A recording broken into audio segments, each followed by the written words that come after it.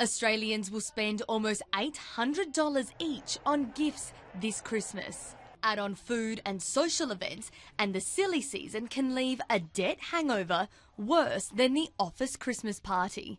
More the partying, uh, going out for lunches, restaurants this time of year, that's where it can get a little bit out of hand. Lots of presents and all the extras, you know, that you give gifts to.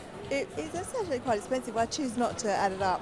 Like Santa, money experts start by making a list. It's really important that you work out who do I want to buy for and how much do I want to spend on them and can I afford that. Then research online and compare prices for the best deal.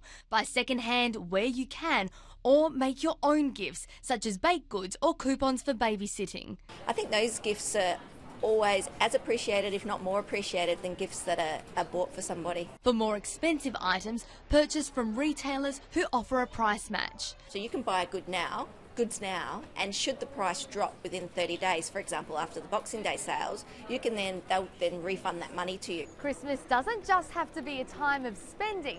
There are also opportunities to cash in on the party season. People are looking to make a little bit of extra money and they have a reasonable car. They could look at becoming an Uber driver. A service currently in high demand. An expensive time of year and try and make the most of what you can, I suppose. Chloe Boris 10 Eyewitness News.